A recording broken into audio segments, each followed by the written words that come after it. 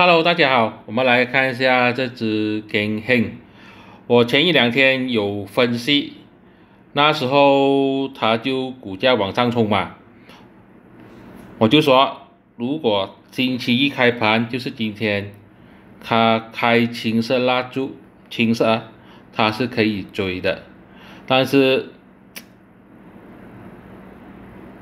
是红色。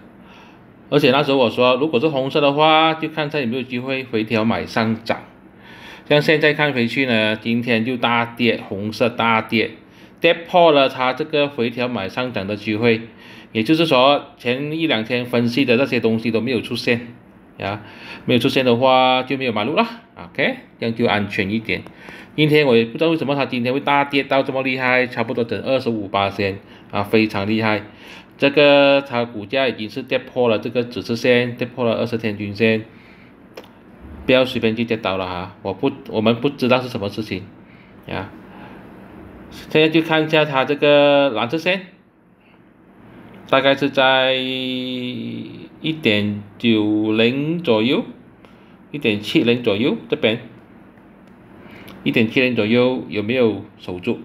呀，如果在一点七零弹上去的话。或者是说可以做一个小反弹吧，啊，因为底部的筹码还是蛮雄厚的，但是呃，无论如何，如果你 follow 我的这个策略的话，你今天是没有买到的，也不会买追高，也不会回调买上涨，因为都已经是呃没有实现到，他说他讯号没有出现到的意思。OK，现在就看这个了，一点七，这边有没有支撑？这是我的个人看法，并没有任何的买卖建议。谢谢大家。